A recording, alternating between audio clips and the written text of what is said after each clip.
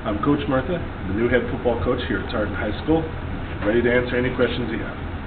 What do you see as your team's strengths this year? The strength of our team is in its work ethic and in its character. This is a great group of kids. They're passionate about football, and they care very much about getting better each week.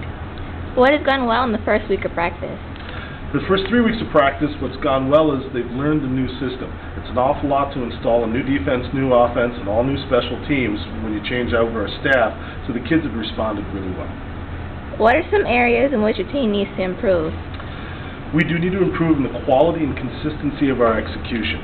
We have a well-led senior group, core of the team are seniors, but they don't have a tremendous amount of game experience, so we're a team that needs to mature as quickly as possible.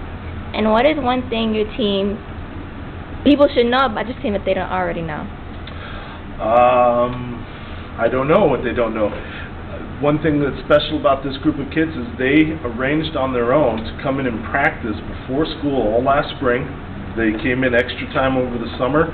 They did their own seven on seven. This is a very independent, very responsible group.